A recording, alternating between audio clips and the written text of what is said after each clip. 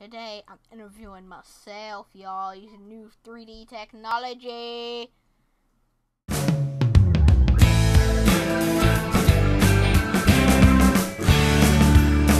Fancy Show Tech, or Super PC from Fancy Show Tech, and today I'm going to show you how to clone yourself in iMovie or make it look like it.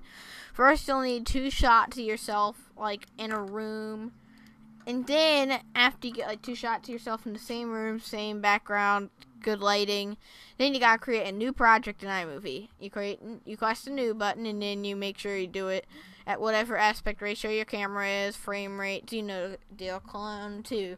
Because I already made the first clone one. I'll create that, and then once you do that in iMovie, you go to Clone or wherever you have your movies. You put them in the file.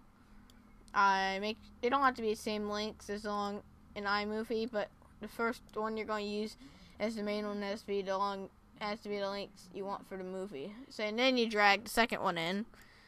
If it if it doesn't work for you when you do this, I'll show you what you have to do at the end of the movie to enable these features. You just do green screen and then you crop it because you'll see that. Of course, it'll mess everything up. You just crop it once you've gotten the green screen. Once you've selected that, it'll automatically show these selections and things. You just crop it to the point where where it's still there. It might look a little weird, but that's how you do it. And then then you can basically see that little effect going on. Let me play that. So yeah, there it is.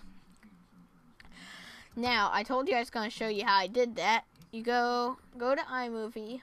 If you don't have these features enabled because not everyone does, you just go to iMovie up here, preferences, and then click check this box, show advanced tools, and that's how you do it. That's how you do what I was doing. It won't work unless you click that box. So anyways, thanks for watching. A lot of other tutorials were long and lengthy on this, but it's pretty easy to do actually if, you get a good shot and everything like I did. Make sure the lighting's about the same. iSight cameras, even their standard def, they're really good for this. I've figured out, and especially newer ones that come on Macs. And you might see a little effect right here, like this one, a little degrading, but that's to be expected. It's a green screen effect.